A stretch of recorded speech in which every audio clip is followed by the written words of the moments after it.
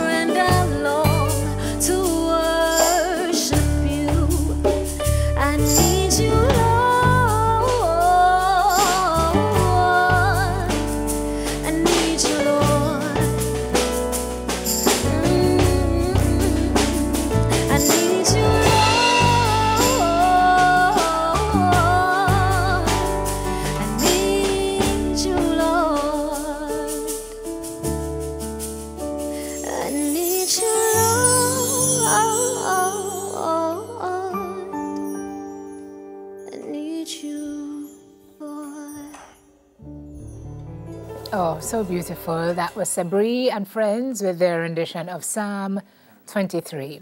Our next guest is a multidisciplinary artist who makes his musical instruments. His name is Jeffrey Menzies, and he joins us from Bull Bay in Jamaica. Good morning to you, sir. How are you? Good morning. I'm wonderful. How are you? I'm very well. It's good to have you here um, this morning. Stringed instrument maker and educator, obviously a lover of music. Can you tell me where that started, Jeff, before we get into how your hands started getting involved into the making of the instrument?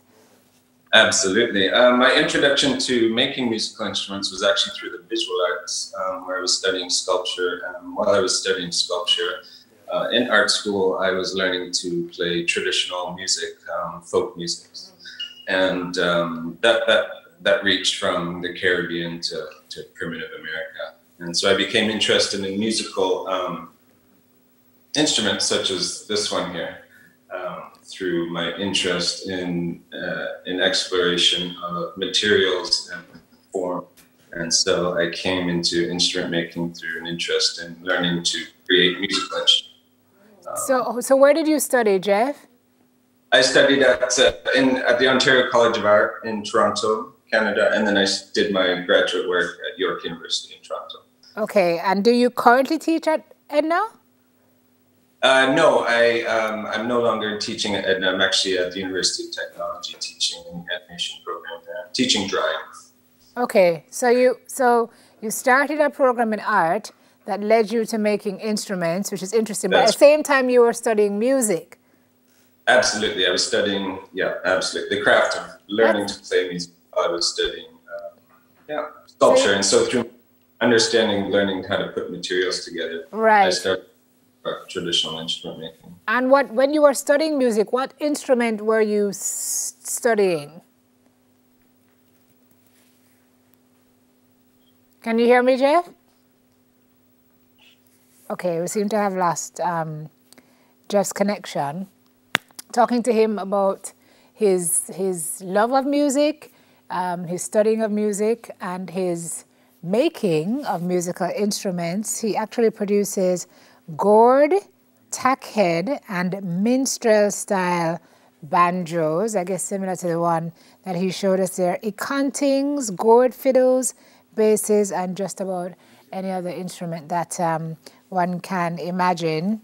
Jeff actually holds a Master's of Fine Arts in Sculpture, and he teaches musical instrument making as an art form at workshops across the United States, Canada, and Europe. And as he said, he did a stint here at Edna and is now um, at UTech. Um, interestingly, his instruments have been in the hands of very notable players, including uh, Frank Lee, Rafe Stefanini, Mike Seeger, Ray Alden, Chris Wigg, Dan Gal Gellert, David Bragger, Joe Ayers, and more.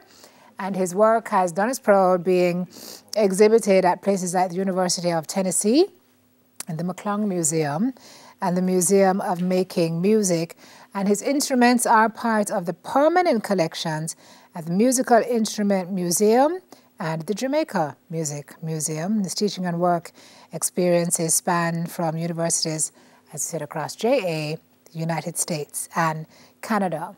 Hoping we can get back with him, but I think we may not be able to. So we're going to take a look instead at some local musicians who've had the chance to play just instruments. Have a look.